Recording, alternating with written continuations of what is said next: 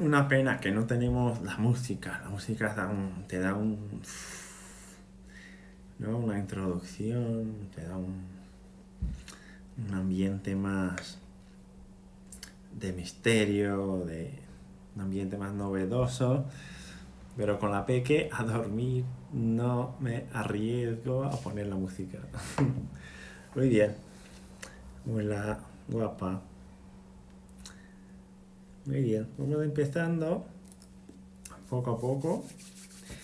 Y bueno, al final lo- el directo de hoy lo hacemos como una, una segunda parte de- del tratamiento que empezamos en la semana pasada, ¿verdad? De la paciente que tenía creencias disfuncionales, que tenía dificultad para empezar una actividad física, para correr, quiere hacer una carrera de 5 kilómetros y tiene un, un dolor cervical crónico. Hola Lenucha, bienvenida. Tengo mensajes tuyos que contestarte, ya lo sé, vale, pero te, te garantizo que está, está en la pauta. Luego cuando, cuando pueda respirar un poco, aunque parezca raro, con una nariz de este tamaño me, me falta algo de tiempo para respirar. Pero luego se arregla todo. Entonces, volvemos a hablar de la paciente de semana pasada, que tenía un dolor cervical crónico, que os comenté, y algunas creencias disfuncionales con mucha dificultad para empezar con una práctica de, de ejercicios físicos, con una práctica frecuente de entrenamiento muscular, porque siempre le generaba dolor. Y como empezó a practicar ejercicio a los 40, eh, tenía algunas ideas de que como le molesta, que, que esto es una discapacidad, que no es posible, que bueno, y todo esto que comentamos en la semana pasada. ¿vale? Entonces, esta semana volvió. ¿Qué tal, Pablo? ¿Te apetece cenar hoy, Pablo?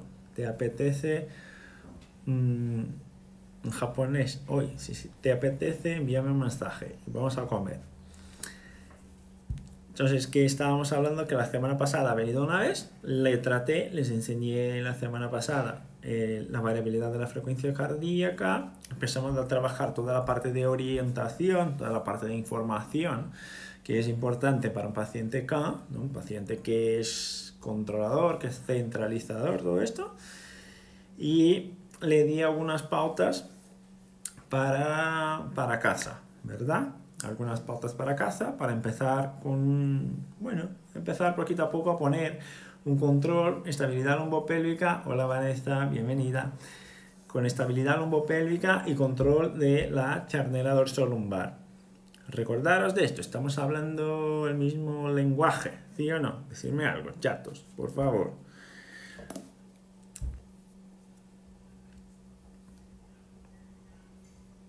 Y entonces esta semana volvió, esta semana volvió la paciente que había venido la primera vez en la semana pasada, volvió en el lunes.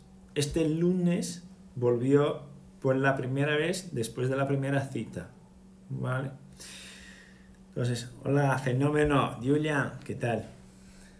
Volvió en el lunes por la primera vez. Entonces, yo había tratado, trabajado la primera vez esta paciente la semana pasada, la semana anterior, una cita, y luego volvió este lunes.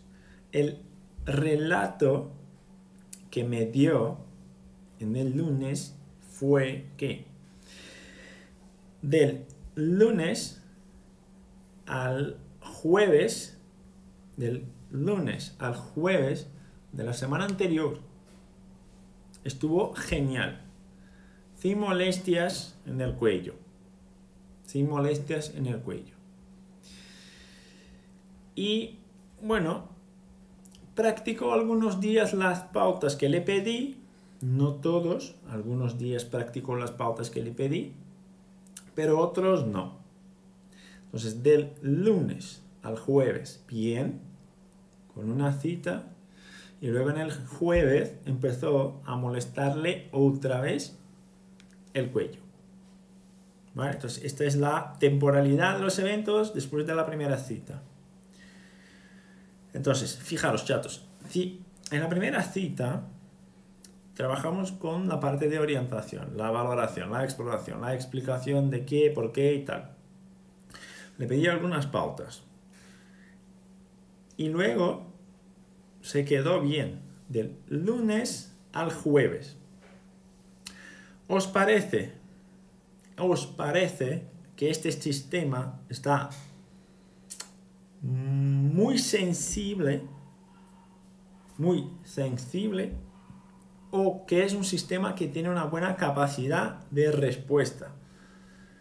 Que el sistema está muy con una capacidad de irritabilidad, con una irritabilidad muy alta o con una irritabilidad moderada. ¿Qué os parece?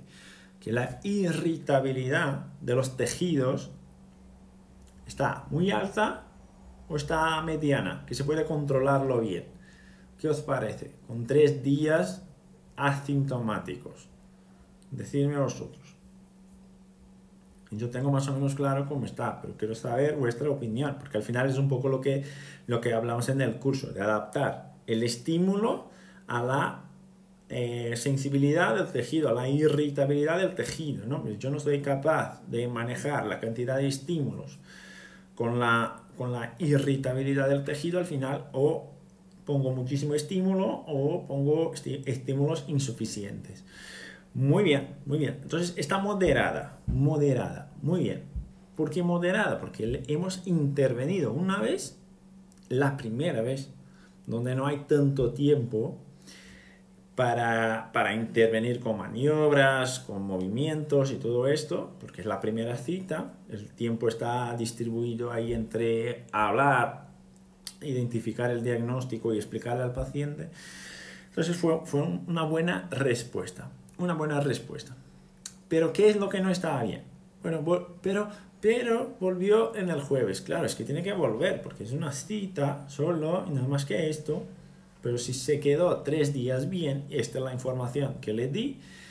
Si te quedaste bien tres días con una, una intervención, bueno, la máquina tiene capacidad de recuperarse, ¿no? Pues perfecto, es lo que queremos, es lo que buscamos. Entonces, una buena respuesta para una primera semana. ¿Qué es lo que no me ha gustado, chatos? ¿Qué, ¿Qué, es lo que no me ha gustado? ¿Qué es lo que no me cuadra en esta primera semana cuando tenemos en cuenta el comportamiento de la paciente? ¿Qué es lo que no me cuadra? ¿Qué es lo que no me ha gustado? Decidme vosotros. Y no me ha gustado no porque no me ha gustado, no me ha gustado porque si quiero tener un tiempo más largo, asintomático y una evolución más pronta, yo necesito cambiar este, esta variable que no me ha gustado. Recordaros que os comenté que ella me dijo, sí, una de las cosas importantes es lo que nos señala Juan que es, noto que va mejor, pero no, pero volvió, claro, volvió. Entonces, esta percepción hay que cambiarla. Esto es uno. Dos, es que no hizo las tareas todos los días. No hizo las tareas, la tarea todos los días. Es decir, si tú estás, si tú estás en un estado de, de desesperación, que fue lo que me dijo ella, si estás en un estado que no mejoras por nada, si estás en un estado de esperar que vuelva yo a, a, Brasil para tratarse, si yo te pido un estímulo, tú me lo das, tú me lo das, porque lo que yo te doy, tú tienes que devolverme, porque es, es, es un contrato, es un compromiso, yo tengo que estar contigo y tú tienes que estar conmigo, si yo te pido algo y tú no me lo das, yo ahí no puedo predecir las respuestas. Entonces le eché la bronca, le eché la bronca en el lunes. Mira, Así se complica un poco la situación. Aunque sea una buena respuesta, así se complica un poco la, conducción clínica. Entonces, ¿qué tenemos que hacer? tú volverás en el jueves. Entonces, esta semana volvió otra vez hoy por la mañana. Esto que os estoy comentando fue en el lunes y volvió otra vez hoy por la mañana. ¿Vale? Entonces, yo le estaba comentando en el lunes. Tú volverás en el jueves, en el jueves, y cuando vuelvas en el jueves, yo necesito de las pautas hechas. Todas, todas, todas. Y necesito de estrés sobre el sistema. Entonces, si lo que tú quieres es correr, que salga a la calle y vete a correr. Y me dijo, ¿por cuánto tiempo? Por 10 minutos, 15 minutos. No hace falta que sea mucho, pero que esté en la dirección correcta. Recordaros de esto. Tengo que hacer algo. ¿Por qué? Porque no me vale buscar la regeneración, la recuperación del sistema si el sistema no está sufriendo el estrés que le dispara el dolor. Si yo quito el elemento estresor, no sé si la terapia de verdad está teniendo efecto o no. ¿Sí o no? Si yo quito el elemento estresor, no tengo cómo garantizar que la terapia tiene efecto o que no tiene efecto, porque yo quité el elemento estresor. No puedo quitar el elemento estresor. Tengo que ponerle poco a poco. Entonces, mira, 10, 15 minutos o un kilómetro. Es suficiente, para mí es suficiente. ¿Sí o no? Vamos, vamos juntos. Esto es importante, esto es clave. ¿Por qué? Porque no podemos quitar el estímulo estresor. Porque nuestro objetivo como cazadores de cebras no es que el paciente no haga la tarea o la actividad o el movimiento, es que lo haga y que esté preparado para hacerlo. Pero si yo quito el estímulo, no tengo ahí, no tengo suficientes elementos para saber si la terapia le está valiendo algo o si le estoy engañando o si esto, a lo mejor estoy engañando a mí. Me estoy engañando a mí. Me va siguiendo. Entonces, esto, esto es clave.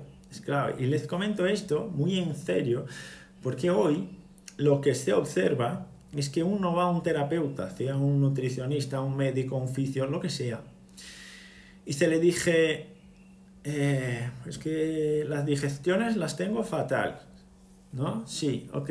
¿Qué tipo de comida te cae mal? Estas comidas me caen mal, ok. Entonces quitamos esto. Pero mira, ¿cómo quitamos esto? ¿Cómo quitamos esto? Si quito esto, el cuerpo se adapta menos. Si quito un elemento estresor, el cuerpo se adapta menos. Si el cuerpo se adapta menos, es menos adaptable. Y cuanto menos adaptable, más restringida y más complicada se pone la evolución clínica, porque estoy quitando elementos todo el tiempo. Cuando hay que quitarlo, hay que quitarlo. Esto no hay lugar a dudas. Pero no se puede quitar todo, todo el tiempo. ¿Me va siguiendo? ¿Sí o no? Entonces yo le pedí esto en el lunes. Y en el lunes, como ya había tenido una buena respuesta, empezamos con un pelín más de carga, más fuerte lo que quiero. ¿Por qué? Porque la respuesta fue buena. La respuesta fue buena. Tres días asintomática. Perfecto. Y yo ahora necesito saber si al poner un poco más de estímulos, si el cuerpo sigue reaccionando bien. Sigue reaccionando bien. Entonces, un poco más de fuerza, un poco más de movimientos resistidos, un poco más de movimientos eh, controlados, como movimientos bajo un control motor Claro que sí, claro que sí. Lo más pronto que pueda, te lo prometo. Vale. Eh, es que como hay algunos mensajes para contestar, a veces me complico un poco. Te pido disculpas, pero lo más pronto lo haré. ¿Vale? Entonces, bueno, ¿y qué cambiamos, Luis, de la primera cita a la segunda cita? La primera cita hemos trabajado todo, todo, todo, todo tumbado ¿Por qué todo, todo, todo, todo tumbado? Porque el sistema funciona de manera organizada, de manera organizada y jerárquica, jerárquica. Es decir, el sistema, el sistema de movimiento en esta situación que estamos hablando, es un sistema, bueno, es un sistema muy inteligente, muy eficiente, pero es un sistema que se puede decir monotarea, se, se entiende. Algo que es un monotarea, es un sistema que es capaz, es capaz de hacer una cosa a la vez, una cosa a la vez, solo, no es capaz de hacer dos cosas a la vez, una a la vez. Y tiene la tendencia natural de ser un sistema de ejecución, un sistema de realización, un sistema de hacer.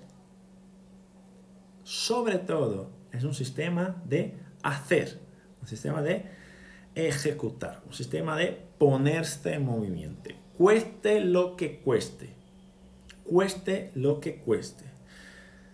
Es decir, el sistema no es capaz de percibir a la vez la sensibilidad de la posición articular y la realización de fuerza. El sistema al principio no es capaz de hacer fuerza y percibir la posición articular a la vez. El sistema no es capaz de hacerlo. ¿Por qué? Porque es un sistema ejecutor, un sistema de hacer, más que todo. Porque si hay un peligro, si hay una amenaza, tiene que disparar para garantizar la seguridad. ¿Ok? Entonces, chatos, cuando estoy empezando con un paciente que tiene una, una, alteración de la regulación autonómica por un dolor crónico, creencias disfuncionales, un paciente K con una alteración de eje de movimiento, lo primero es informarle. Lo segundo, garantizar seguridad al sistema. ¿Y cómo yo garantizo seguridad al sistema? ¿Tumbado o de pie? ¿Cómo le garantizo seguridad? ¿Tumbado o de pie? ¿Qué os parece más seguro? ¿Estar tumbado o estar de pie? Decidme vosotros, decidme vosotros. ¡Pam! Yo sé que ya sé que hay un pequeño retraso en la, velocidad de información. Pero ¿qué es más seguro? ¿Qué es, garantiza el sistema tranquilidad? ¿Qué garantiza más contacto somático? Estar tumbado con la espalda en la camilla, donde tú puedes sentir todo de arriba abajo, o estar de pie. Estar tumbado. Estar tumbado. ¿Por qué empezamos tumbado? Porque empezamos garantizando al sistema seguridad. Para que el sistema esté solamente atento al eje de movimiento que le propongo. Solamente esto. Porque yo quiero, esto es como una, práctica eh, neuromuscular o neurointegrativa, de integración sensorio-motora o sensorio-motriz. Integración sensorial. Si yo no puedo percibir, no puedo disparar una buena respuesta. ¿Ok? Después empezamos tumbado. Por esto quitamos la carga al principio. Muy bien. Entonces, en el lunes, como la respuesta de la semana anterior había sido una buena respuesta, le puse de pie. Le puse de pie. ¿Por qué? Porque la respuesta tumbado me salió bien y volvió mejor, con indicativos de mejoría y con más ganas y con más confianza y todo esto. Le puse de pie. Y le puse de pie en un, en un aparato, bueno, he subido esta semana un vídeo que habla del Bosu. ¿Habéis visto? Del Bosu.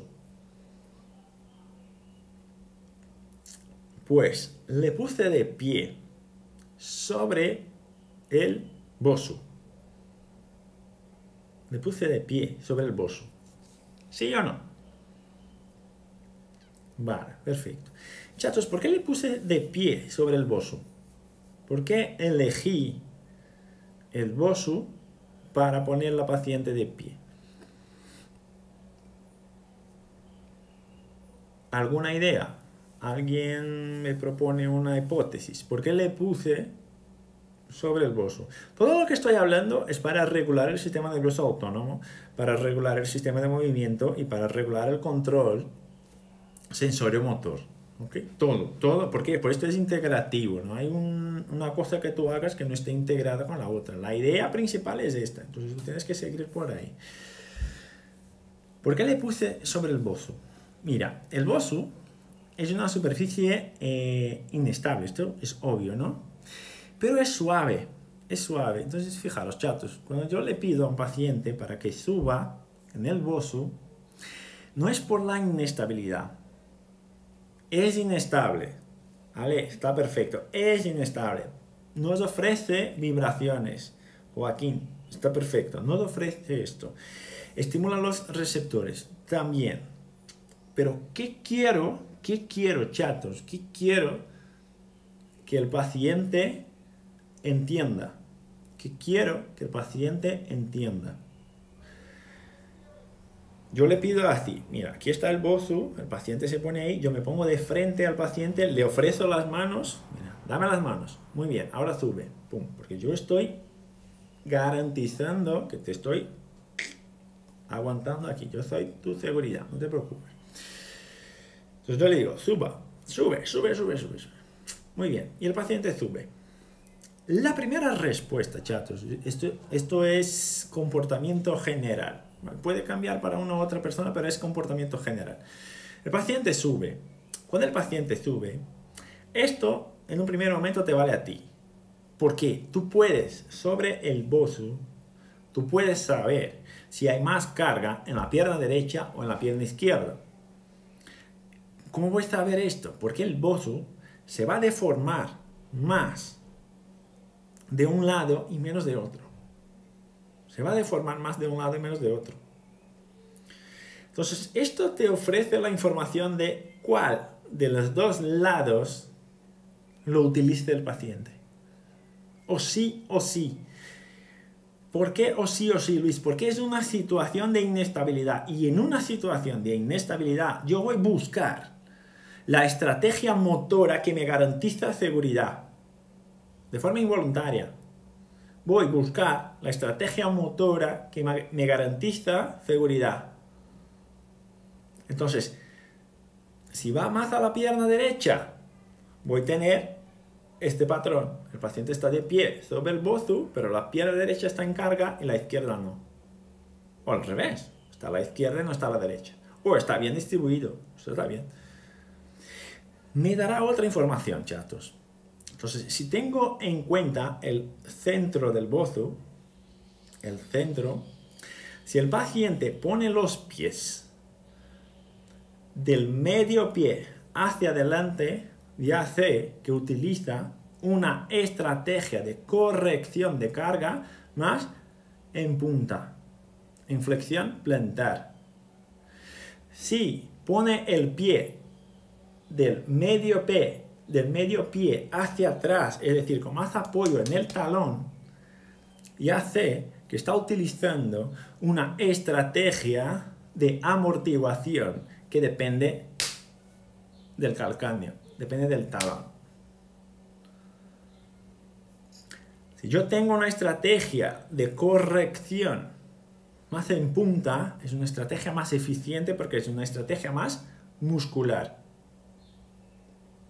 Si tengo una estrategia de amortiguación más en calcáneo, más en talón, es una estrategia menos eficiente porque el, el talón no absorbe nada, el talón impacta con el suelo. Entonces, esto me da información. Está más a la derecha y está más a la izquierda. Y qué estrategia motor está utilizando para corregir inestabilidad. Esto es clave. Entonces, ¿por qué utilizo el bozo, chatos? Para un diagnóstico. Y más que todo esto, porque el sistema sensorial del paciente en este momento es fallo y tiene una dificultad proprioceptiva, como tiene una dificultad proprioceptiva, cuando le pongo sobre el bozo, ¿qué puede hacer, chato? Si yo le pongo sobre el bozo, ¿Qué puede hacer el paciente para darse cuenta de que sí, que está desequilibrado? Puede utilizar su principal sistema sensorial, puede mirarlo. El paciente lo mira. Es verdad, estoy más a la derecha, o estoy más a la izquierda, o estoy más hacia atrás, o estoy más hacia adelante. Se da cuenta de que hay un cambio en la estrategia neuromuscular. ¿Sí o no? No estoy hablando de otras cosas. No estoy hablando de, energía, de la conexión del cielo con la tierra. ¿Qué? ¿Sí o no? ¿Estamos más o menos en el mismo plan o no? Muy bien. Entonces, cuando yo le pongo ahí, le pido, mira, deja que el cuerpo se vaya a la derecha, deja que el cuerpo se vaya a la izquierda, deja que se vaya hacia atrás, deja que se venga hacia adelante. Puedes utilizar el espejo, María, pero en este momento, como el paciente no conoce el ejercicio, estará totalmente fijado en ti, totalmente fijado en ti, estará totalmente atento a todas tus orientaciones, porque no sabe qué hacer. Entonces ahí el espejo le vale menos. Le vale más tus manos y tu orientación. Más allá, más acá, más allá. ¿Ok? Porque esto le va a generar también una tranquilidad, tranquilización y una disminución de la hiperactividad simpática. Muy bien, entonces les propongo poner el bozo como un elemento diagnóstico para el sistema motor. Ahora, fijaros, chatos, que 10 en cada 10 pacientes, cuando sufren desequilibración sobre el bozo, 10 en cada 10, cuando sufren un desequilibrio sobre el bozo, se desequilibran hacia atrás o hacia adelante. ¿Qué opináis vosotros? El paciente en general, cuando tiene una desequilibración sobre el bozo, se desequilibra hacia atrás o hacia adelante. ¿Qué opináis vosotros? ¿Qué os parece? ¿Que se va hacia adelante o hacia atrás? A ver si estamos finos. A ver si tenemos un bozo en la clínica, en la consulta, porque vale muchísimo. Vale muchísimo como información. Adelante, nos dice María. ¿Alguien está de acuerdo o no está de acuerdo? Rosana nos dice hacia adelante también. Pues María se va hacia atrás. Se va hacia atrás. No, no, no, no, no. bien, no nos podemos fiar en la postura, porque la postura es involuntaria y no es dinámica. Y esto es corrección dinámica, es otro sistema de funcionamiento, es otro sistema de programación. Por esto el, el decúbito no nos vale como eh, diagnóstico de movimiento aunque nos indique algo, pero no nos vale. Entonces, 10 en cada 10 se van hacia atrás. 10 en cada 10 se van hacia atrás. ¿Por qué se van hacia atrás, chatos? ¿Por qué se van hacia atrás? Ya os comenté algunas veces que en general quien tiene una, una alteración en la regulación autonómica, tiene una alteración en la en la estructura de las charnelas, ¿no? principalmente en la charnela toracolumbar, ¿no? en la transición toracolumbar. ¿Qué suele pasar en la transición toracolumbar? Chatos, recordaros de esto, un paciente crónico que tiene hiperactividad simpática, ¿qué suele pasar en la charnela toracolumbar? ¿Suele tener hiperactividad de la charnela toracolumbar o suele tener una rectificación de la charnela toracolumbar? Integrando conceptos, vamos. ¿Qué suele pasar? ¿Qué suele pasar en la charnela toracolumbar? Hipersolicitud, ro, hipersolicitud. Perfecto, perfecto. Ahora, fijaros, chatos, si yo estoy sobre una superficie inestable y tengo hiperactividad de extensores, los extensores tiran hacia dónde? ¿Hacia adelante o hacia atrás? Hacia atrás, ¿verdad? Los extensores te tiran a la extensión. Los extensores te tiran hacia la extensión. Entonces te tiran hacia atrás. En general es lo que pasa. Te tira hacia atrás porque hay una hiperactividad de extensores. y que es una de las estructuras que tenemos que corregir, o uno de los mecanismos que tenemos que corregir, que ya hablamos en el curso, cuando hay una hiperactividad con hipersolicitud de charnela, es la activación del glúteo, del glúteo mayor, que el glúteo mayor es un rotador posterior de la pelvis. Recordaros de esto, ¿vale? Entonces suele tirar hacia atrás. Pero si quiero poner el paciente en marcha, si quiero poner el paciente, que es el objetivo de la paciente, que me, dijo la paciente que quería correr 5 kilómetros, si quiero que la paciente pueda hacer una carrera de 5 kilómetros, la mejor estrategia de absorción de carga está cuando me voy hacia adelante o cuando me voy hacia atrás. La mejor estrategia de absorción de carga está cuando me voy hacia adelante cuando me voy hacia atrás. Hacia adelante o hacia atrás, chatos.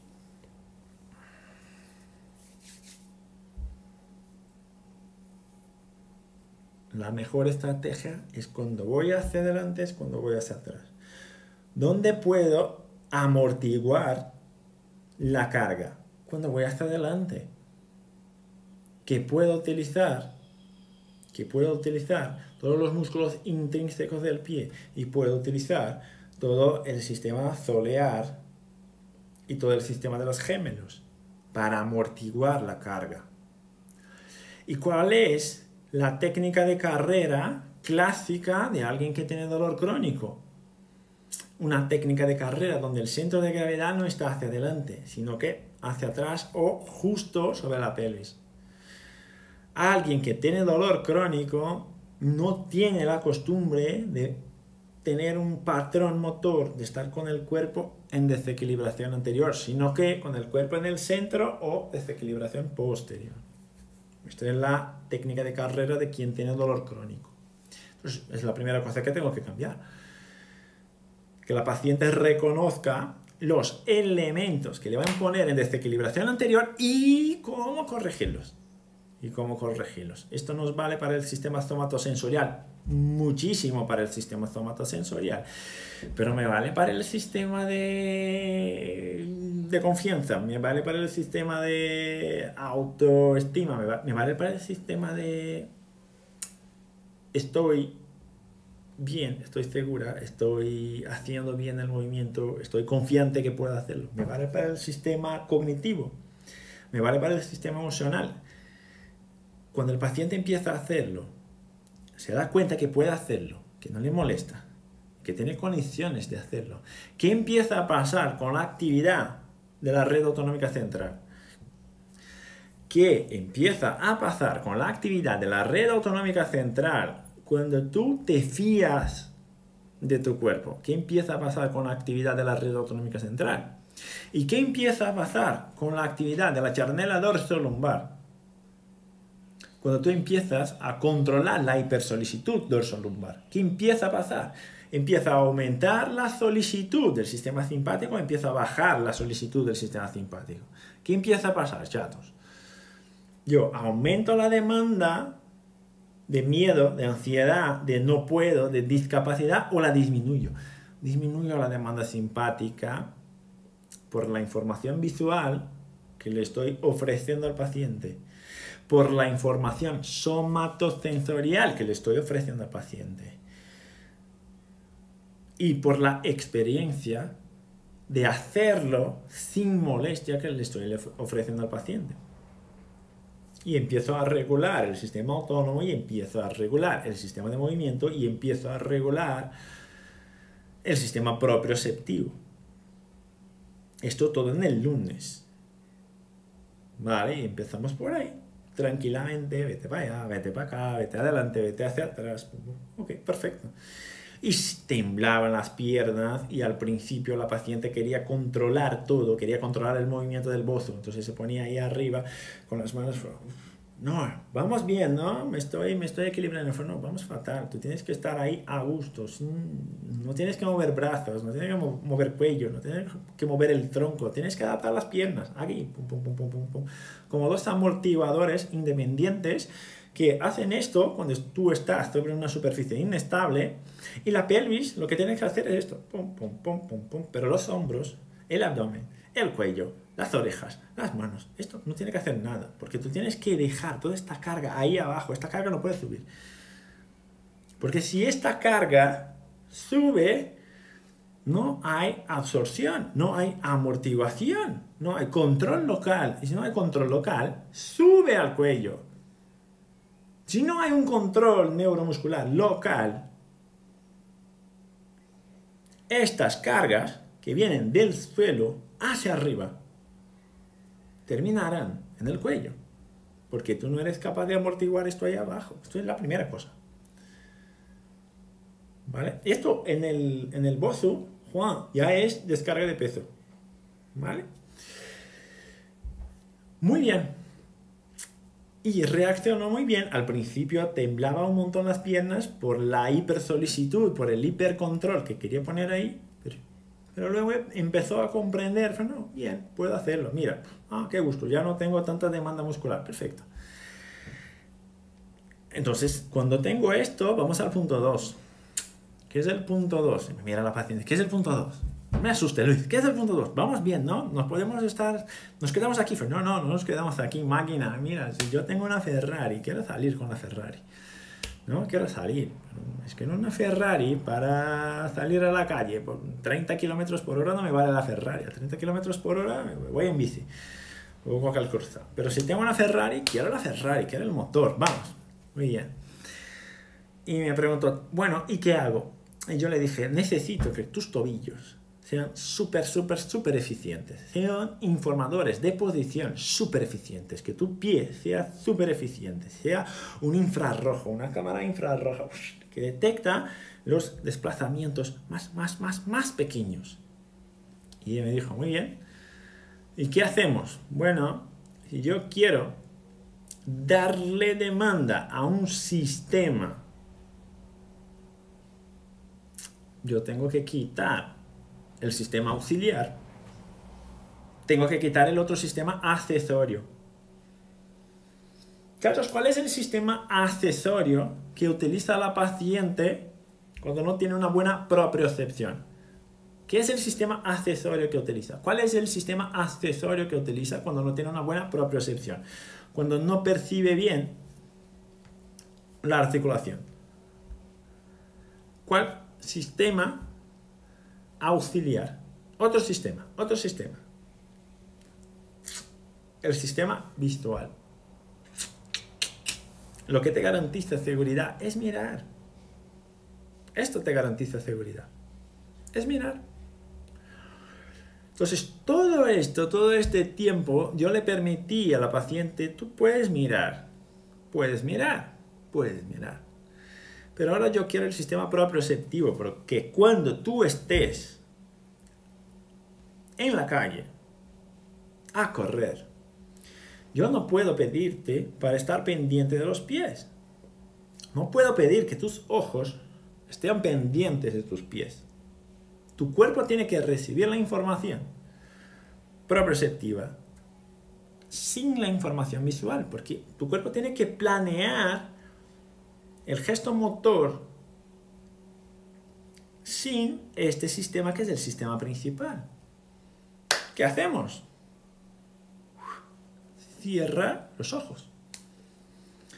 En este momento yo me pongo así, entonces está aquí el brazo de la paciente, yo me pongo así, así. No contacto con la mano, pero con un mínimo movimiento ya puede sentir que yo estoy ahí. ¿Ok? El paciente está de pie, yo estoy enfrente con mis dos brazos, las dos manos, así, garantizando algo de sensibilidad a la paciente. Y le pido cierra los ojos, son 30 segundos. Y yo te garantizo aquí, yo te aguanto, yo te agarro, yo, hago lo que sea. Pero no abra los ojos. Muy bien, y en este momento es un... es todo un descubrimiento, porque se quita el sistema visual, y ahora dependo del sistema proprioceptivo. Y el sistema proprioceptivo no tiene una buena... no está fino. Y como no está fino, va a solicitar movimientos muy amplios. Entonces el cuerpo empieza... Uh, uh, uh, voy para allá. ¿Por qué? Porque no está fino. Entonces necesita de mucho movimiento para detectar la posición articular. Y nos quedamos por ahí en el lunes, practicamos esto un poco. y poco a poco se fue relajando. Luego vuelve a la camilla y bueno, ahí a trabajar un poco el cuello, que es la principal queja de la paciente y tal, pero ya es el final. regular un poco la respiración, equilibrar y tal, y darle nuevas pautas. Darle nuevas pautas. Bueno, tú vuelves, tú vuelves en el jueves por la mañana, hoy por la mañana, te pedí esto en el lunes, vuelves en el jueves por la mañana y en el jueves por la mañana tú me vas a decir que saliste a la calle para hacer lo que te estoy pidiendo. ¿Vale? Se fue la paciente y volvió hoy por la mañana. Y me dijo, muy bien, salí ayer a caminar por la calle, pero cuesta arriba. Todo cuesta arriba. Es decir, con mucha demanda muscular. Y hice los ejercicios todos los días. Es decir, lunes, martes, miércoles y hoy estoy aquí. Pues muy bien. Y me pregunto, ¿te vale? Pues en este momento me vale. Para la semana que viene, no. Para la semana que viene quiero 10, 15 minutos a correr. Esto es lo que quiero. Me da igual si es cuesta arriba, cuesta abajo. Si Pero que lo hagas. Que lo hagas. Porque en enero quiero 5 kilómetros. Muy bien. Volvió hoy por la mañana. Le tomé otra vez la variabilidad. A ver si la encuentro aquí. Mm. Ahí está. Muy bien. Entonces, lo que vemos ahí, pues la RMSSD está en 10, Luis, está fatal, el pago está fatal. Ajá, el pago está fatal. Pero si nos recordamos de la semana pasada, la RMSCD estaba en 7. La RMSCD estaba en 7. Hoy, por la mañana, estaba en 10. Estaba en 10. ¿Es poco, Luis? Bueno, no sé si es poco, si es mucho. Cada sistema tiene su tiempo de reacción. Pero, para salir de un 7 y llegar a un 10, yo tengo ahí algo como 40% de mejora. Tengo un tono 40% más eficiente. Vale. En el lunes de la semana pasada estaba en 7. Este jueves por la mañana estaba en 10 una mejoría de un 40%. ¿Es suficiente? No, tiene que seguir subiendo, tiene que seguir, subiendo, pero no podemos creer que en una patología crónica esto, esto va a saltar de las 7 a la 45 en una semana. Si esto pasa es porque no es crónico. Si esto pasa es porque no es crónico. Porque si es crónico y hay plasticidad periférica y hay plasticidad central, es este cambio brutal de la 7 a la 45 no va a pasar. Va a pasar poco a poco. Y ahí tengo una mejoría de 40%. Está bastante bien. La SDNN en la semana anterior estaba en 22. 22. Hoy por la mañana estaba en 55. La SDNN ha mejorado muchísimo, más que el doble. La variabilidad general del sistema está el doble. Está el doble. Muchísimo mejor. Estaba en 22, está en 52. ¿Sí o no? Y la LFHF, que estaba en 5,6, hoy por la mañana estaba en 3,6. Ha bajado también algo como un 30-40%. ¿Me vale o no me vale como respuesta? ¿Me vale o no me vale como respuesta? Decirme, chatos, ¿esto me vale o no me vale como respuesta? ¿Me está diciendo que la terapia va en una buena dirección o no? ¿O me está indicando que no va en una buena dirección? ¿Qué opináis vosotros? Va en una buena dirección, ¿no? ¿Verdad? Muy bien. Me pide Ruby para los que podáis, para sacar un pantallazo y subir a las historias, por fin, para ayudar a nosotros a divulgar un poco el tema. Si podéis ayudarnos, por favor, sacar un pantallazo y subir a vuestras historias cuando podáis. Entonces mejoró muchísimo. En una semana la SDNN salió de 22 y subió a 52. Muy bien, aumentó muchísimo la variabilidad general del sistema. Luego, la RMCCD, pero Luis, 10 es, poco. Sí, 10 es poco, pero 7 es aún menos. Y ahí tengo una mejora de un 40% en una semana de tratamiento. Una semana. Está bastante bien. Me parece bastante razonable. Ok. Y lo mejor de todos, chatos, lo mejor de todo, de todo. Llegó hoy por la mañana y me dijo, mm, no tengo nada que contarte. Del lunes hasta hoy por la mañana no he sentido nada. A mí me parece raro un día que no tengo molestia, un día que no tengo dolor. Lo normal para mí es tener molestias, tener dolor todo el tiempo. Entonces me suena raro el día que no tengo una sensación dolorosa, una sensación de molestias. ¿Os dais cuenta cómo va cambiando la percepción de la realidad? ¿Os dais cuenta? Es decir, le suena raro a la paciente, le suena raro a la paciente no sentir molestias. Va siguiendo. El, nivel de compromiso que tenemos es, es muy amplio, porque una persona ya no está, uno ya no está acostumbrado a no tener dolor. Ya ha integrado en su cabeza que el dolor es parte de su día, es parte de su estructura, es parte de su vivencia, es parte, es parte de su rutina. ¿Me va siguiendo, sí o no? Y esto tampoco es bueno, esto no es nada bueno, nada bueno. Esto debería ser al revés. Deberías recordarte de los días que te molestan, ¿no? De los días que no te molestan. ¿Sí o no?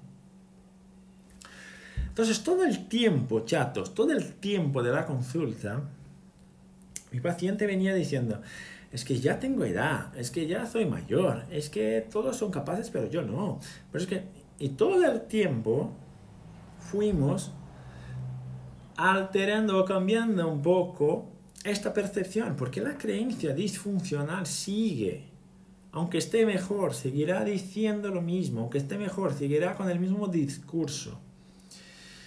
¿Y qué pasa? ¿Qué es lo malo del discurso? Lo malo del discurso, lo malo del relato, lo malo de seguir afirmando estas creencias disfuncionales es que tú escuchas, uno escucha lo que está diciendo. Si yo le estoy diciendo que estoy enfermo, estoy enfermo, estoy enfermo, estoy enfermo, estoy enfermo, tú estás escuchando todo el día que tú estás enfermo.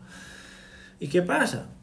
Esto te aumenta te aumenta o te disminuye la sensación de discapacidad. Esto aumenta o disminuye la sensación de inseguridad, la sensación de miedo, la sensación de que un poco más allá todo se va a romper otra vez y me voy a poner rota y ya no podré hacerlo. Esto refuerza creencias disfuncionales y aumenta la actividad de la red autonómica central o la disminuye. ¿Qué opináis vosotros?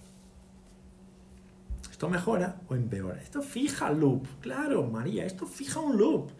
Cuanto más el paciente repite esto y esto, esto va fijando el loop. Y aumenta otra vez la reactividad de la red autonómica central. Entonces tú, todo el tiempo, cazador, tiene que estar pendiente del discurso del paciente. Porque el paciente intentará otra vez, esto es involuntario, pero intentará reactivar la red neuronal que conoce. ¿Por qué? Porque neurons that fire together, wire together. Neuronas que disparan juntas se conectan. Y está acostumbrada con este relato, está acostumbrada con esta sensación de molestia, está acostumbrada con el dolor. Entonces lo normal es tú buscar otra vez la red, la red neuronal activa que tú estás acostumbrado a trabajar. Entonces vuelve otra vez todo el tiempo esta actitud. Y si vuelve esta actitud, no funciona, porque es disfuncional. Perfecto, María. Esto es lo que pasa cuando miramos las hernias en la resonancia. ¿Vale? Entonces, para el sistema autónomo, las creencias, la actitud y más que esto, más que esto, el lenguaje, es muy importante porque activa o modula la red, de acuerdo con la cronicidad de los eventos. ¿Sí? Por esto el lenguaje es súper importante. Por esto la, la, seguridad del terapeuta es súper importante. Esta paciente no ha tenido molestias de lunes al jueves y está súper contenta porque puede moverse, se movió, cansó y todo esto y no le dolía nada. Es perfecto. Esto es lo que tiene que pasar. Y ahora, ahora sigue con las pautas. Y hoy aumenté un poco las cargas. Aumenté un poco las cargas, le di otras pautas para poder seguir evolucionando, porque quiero verla en el lunes, en el lunes que viene, quiero verla mejor, pero con más estresores. Quiero ponerle más estresores y que se adapte bien, que se adapte mejor y que se siga adaptando porque los estímulos que le estoy ofreciendo aún son estímulos que están abajo de su capacidad de respuesta. Pero si yo le doy todo a la vez, se va a romper, el sistema se rompe, el sistema estará roto, porque le doy todo a la vez, la información no puedo captarla todo a la vez, vuelvo al sistema anterior. Entonces poco a poco le voy poniendo estímulos horméticos, le voy ofreciendo pequeñas evoluciones y ella va poniendo más elementos estresores y va adaptándose mejor y va evolucionando, incluso con la reactividad de su sistema autónomo. En el lunes seguiremos avanzando, pero ahí ya tenemos una buena respuesta. ¿Vale? ¿Por qué sé que es una buena respuesta? Porque además de la mejoría en el análisis de la variabilidad, tengo la mejoría de los síntomas del paciente y tengo el relato de la paciente de que, de que he tenido tres días asintomática. Y me suena muy raro no tener molestias. Y esto es clave, chatos, clave, clave, clave. Sí, gris, quedará grabado. Esto es clave, chatos, porque es así que se empieza a romper el K. Es así que se empieza a romper el K. ¿Sí o no? ¿Me vais siguiendo sí o no? Es así que empieza a romper el es así que empieza a cambiar el loop y es así que empieza a cambiar la realidad de uno y la química interna y la química interna. Esto todo es SNA integrativo. ¿Por qué es integrativo? Porque es respetando loops, jerarquías y los elementos claves para reacciona. Esta semana un amigo mío me dijo una frase que es una paradoja, pero para mí hizo todo, todo, todo el sentido del mundo. Que fue, a ver, a ver si, si os cuadra, me dijo, para tener un efecto más amplio, como terapeuta, para que tú seas más amplio, tienes que ser más específico. Hizo todo el sentido del mundo para mí. Todo el sentido del mundo. Porque yo le estuve hablando un montón de cosas por 10 minutos y él me miró así y me dijo, es decir, me está diciendo que para tener un efecto más amplio, tengo que ser más específico. Pues, acabas de hacer un resumen de 10 minutos de charla de Luis Gonzaga. Pues perfecto, lo apunté. Para hacer más amplio, tengo que ser más específico. ¿Os cuadra el razonamiento, cazadores? ¿Sí o no? ¿Os cuadra esto? ¿Sí o no? ¿Os queda claro por qué tengo que ser más específico para ser más amplio? Para ser más integrativo, yo tengo que ser más específico. Aunque parezca una paradoja. ¿Sí o no? Porque si yo le ofrezco, si yo le ofrezco al paciente todos los estímulos del mundo, el cuerpo no es capaz de percibirlo. El cuerpo no es capaz de percibirlo. Y entonces irá a notar siempre los estímulos que le son más habituales, que son más frecuentes, que le parecen bien. Y se cae toda vez en su sistema que ya está fijado para hacer más amplio tengo que ser más específico. Es fenomenal, estupenda, la frase estupenda. ¿Sabes? Entonces, cuanto menos, más amplio el efecto. Por esto tengo que hacer más específico y tengo que hacer un mejor diagnóstico, para hacer menos y ofrecerle una mejor respuesta y más amplia respuesta. Muy bien. Entonces, como tenemos cinco minutos más, voy a ponerle hasta aquí.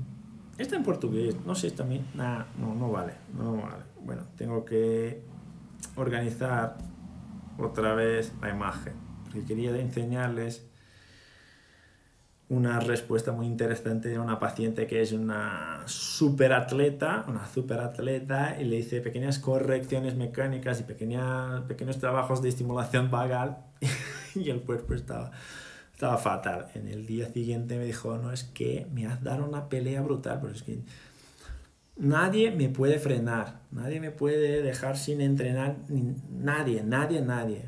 Pero hoy no pude entrenar por lo que hiciste ayer, que me parece que sufrí un atropello, pero está bien, pero yo solo estimulé los aferentes vagales, pero voy a organizar un poco mejor la imagen y la semana que viene hablamos de ello, porque ahí no se ve nada.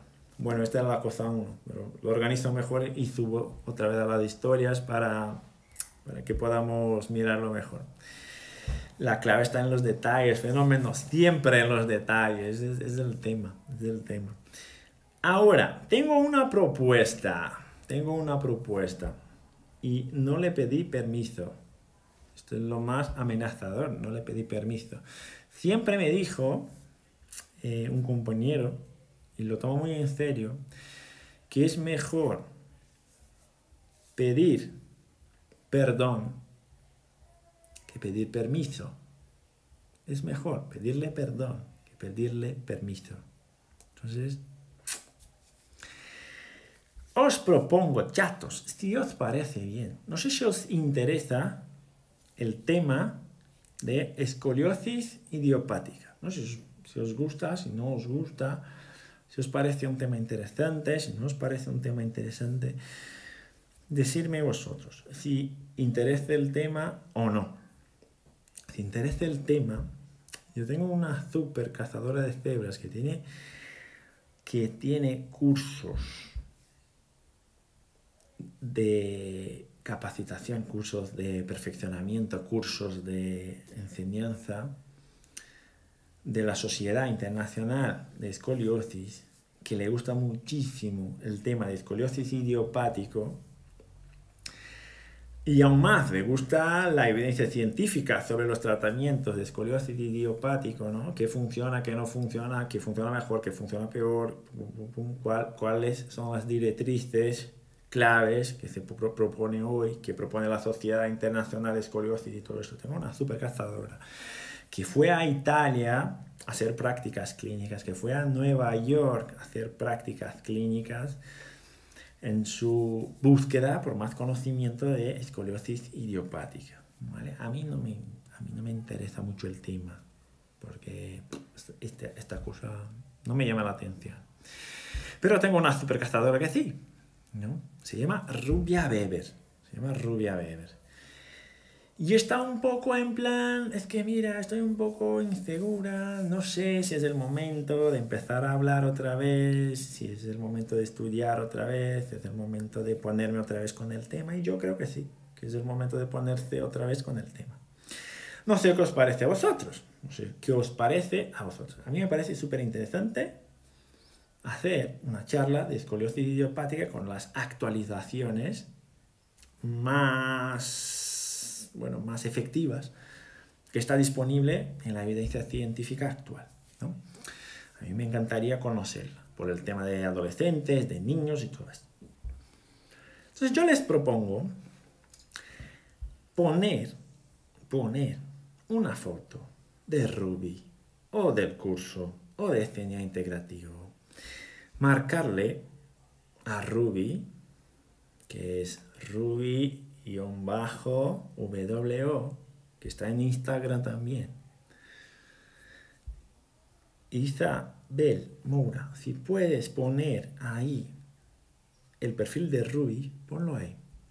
Me, yo les propongo, sacamos un pantallazo de lo que sea de Ruby o del curso, subimos a las historias y ponemos una frase como Ruby, yo quiero. Ruby yo quiero. Esta, esta es la hashtag. Ruby yo quiero. O Ruby yo me apunto. Y ahí, si llegamos a 10 historias de 10 compañeros distintos, le pedimos a Ruby una charla de escoliosis idiopática, las evidencias científicas más actuales de escoliosis idiopática. ¿Os parece bien el juego para poner un poco de, diversión ¿no? en el tema? Y ahí planeamos un, bueno, buscamos una fecha para el sábado o para el miércoles que viene y lo hacemos. ¿Os parece bien? Y le ponemos a Ruby a trabajar un poco, que Ruby me está poniendo a trabajar a tope. Entonces, sacamos un pantallazo de una foto cualquiera y, ponemos, oh, Ruby, yo quiero. Subimos a las historias y Ruby tendrá que hacer una charla con las evidencias científicas más actuales de escoliosis idiopática para nosotros. ¿Vale? ¿Os parece bien? Pues cuento con vuestra ayuda en este tema. Y Luis cambia los pañales, totalmente de acuerdo. Yo cambio los pañales, estamos de acuerdo. Traemos a Alice para participar también. Perfecto. Y si tenemos un ratito, ahí ya hacemos pequeños vídeos de cuáles las herramientas más actuales y cómo trabajar con ellas en la práctica clínica. Yo, yo le grabo a Ruby ahí en la clínica con las herramientas, ella explica las herramientas y subimos a las historias o subimos a YouTube o lo que sea y ahí ya nos vale como una orientación para la clínica. ¿Vale? Si os parece bien, cuento con vosotros. Ah, bueno, creo que esto. Ruby, contamos contigo. Yo soy tu fan, guapa. Muy bien. Espero veros, verlos a todos en el sábado o en el miércoles que viene, porque ahora volvemos, ya no tenemos mentorías, entonces volvemos con los directos del sábado en YouTube, pero luego, luego pongo los, los recaditos, los, los mensajes. ¿Vale? Un abrazo a todos, chatos. Espero que os haya valido. ¿Vale? Besitos. ¿Dónde termino esto? Oh. No sé más dónde termino esto. Pues genial. Muy bien.